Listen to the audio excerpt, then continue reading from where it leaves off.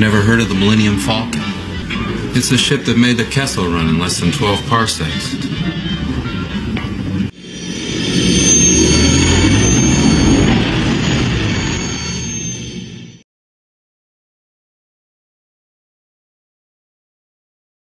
Hey, Star Wars fans and action figure collectors, we're taking a look at the brand new Sabine Wren from Star Wars Rebels, part of the uh, the Chopper Sabine 2-pack.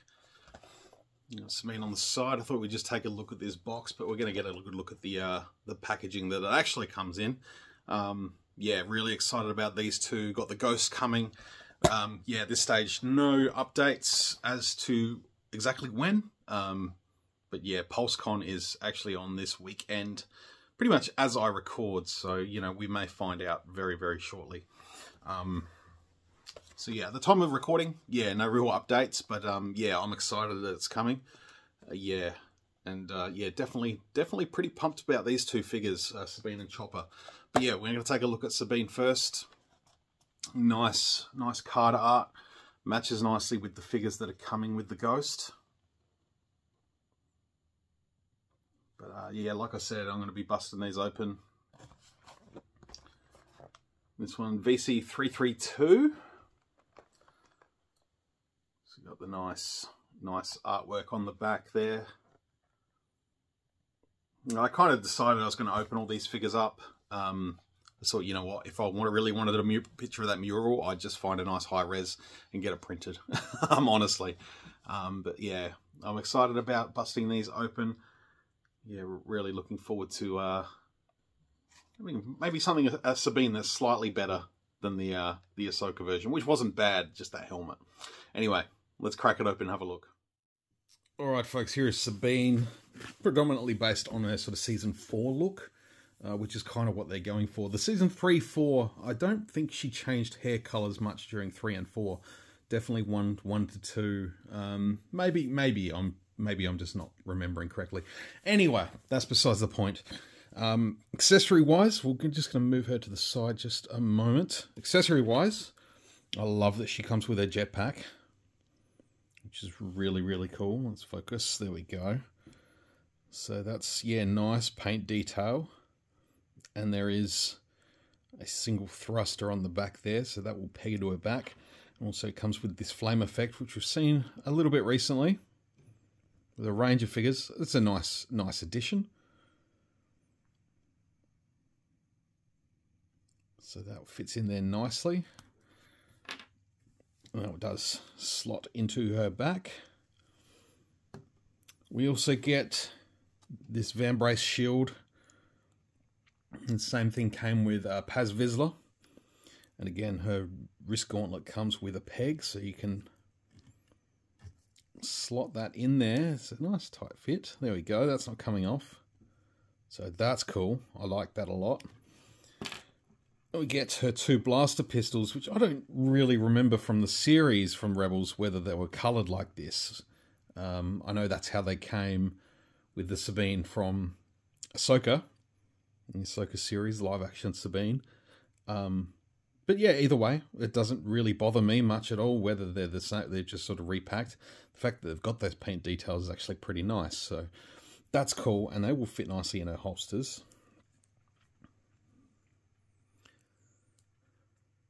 So that's good. And then last but not least, we get a helmet, which is absolutely worthy of the of the figure. Whereas the uh, the thing that came with the live action Ahsoka was you could have fit this helmet inside of it.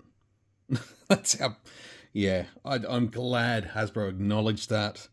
Um, and, you know, went back to the drawing board for this figure. Definitely got a bit of an animated vibe to it yeah, in terms of the style of it. But, um, so it's not just sort of a repaint of, you know, Bo-Katan or, or Koska Reeves' helmet. Because, yeah, she's definitely got a, her own sort of unique style of helmet among her clan,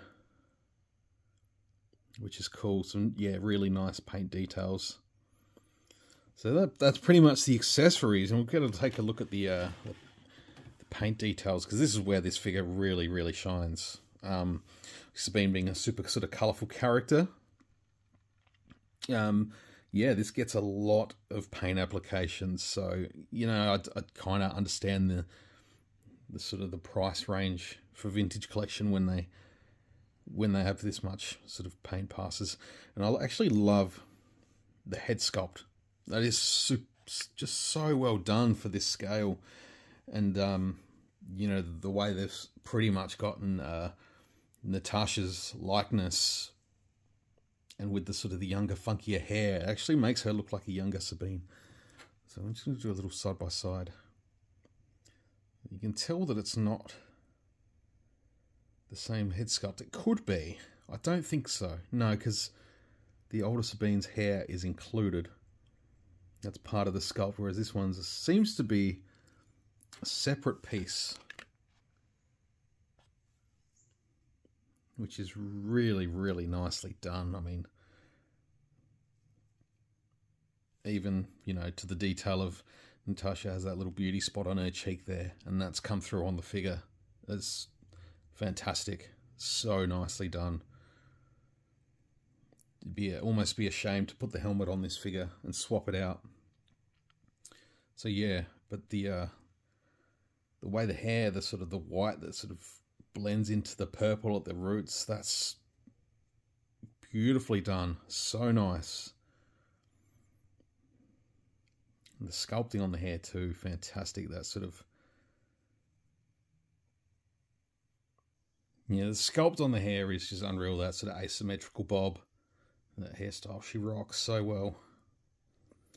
But even then, the rest of the the armor plating, really nice. Slightly off print on the top of the armor piece there, but not a big deal. I'm not too fussed about that. Just all the little details of the phoenix. We've got the the Morai on the shoulder there.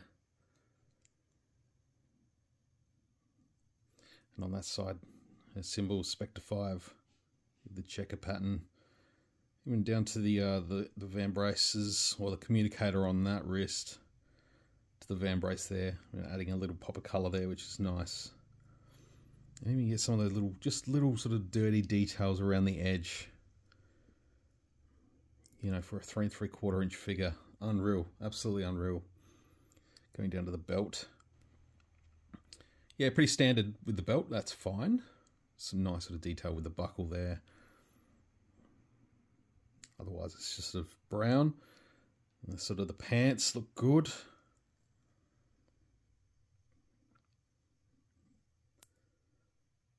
As far as I can tell, this is pretty much all new.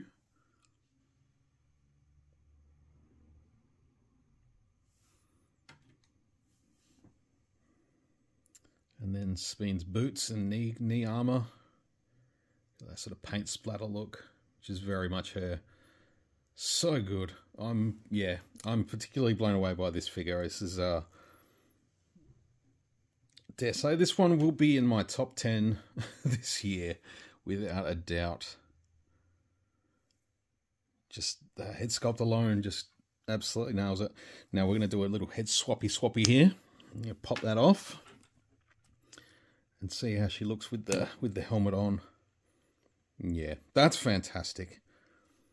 That's really, really nice.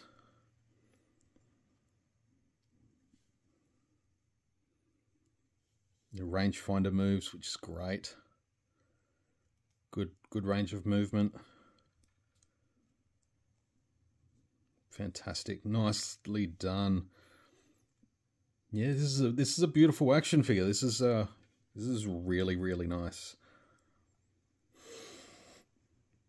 So we've had a good look at the paint details, all the colours, all the everything else.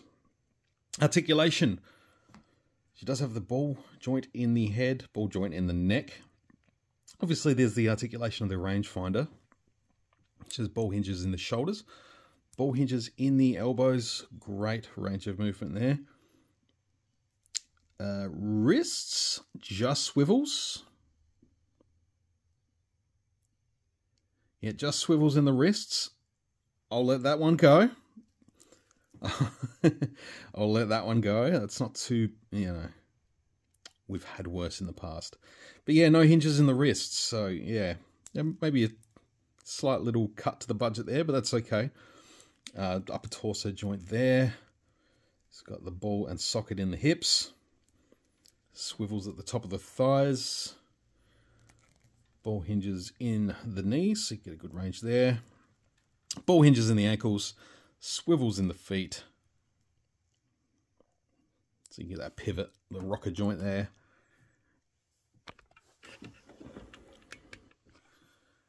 And yeah, that's that's Sabine. So we're gonna do the uh, do the peg test as well. You know, Kessel Run action figure stands. The best. And there we have it. So yeah, she's looking absolutely marvellous.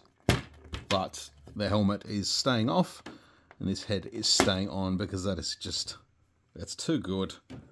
Way too nice to leave, to put that aside.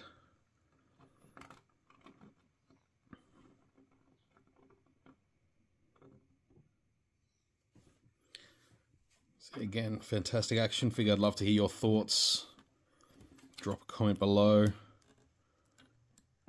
I'll respond in due course. I always try to get, get to them as quickly as I can. And just as an edited in footnote, I did say I'd do a little comparison with the Sabine. We did I did sort of show her earlier, but thought I'd do a little 360 here. Can get a look at them both side by side.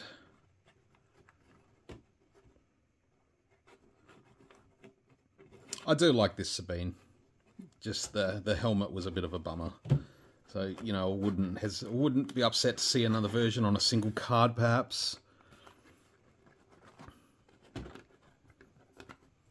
You know, maybe just with that helmet tweak. That's enough to make me want to buy it. I did it with Axe Woves. I'd do it with Sabine.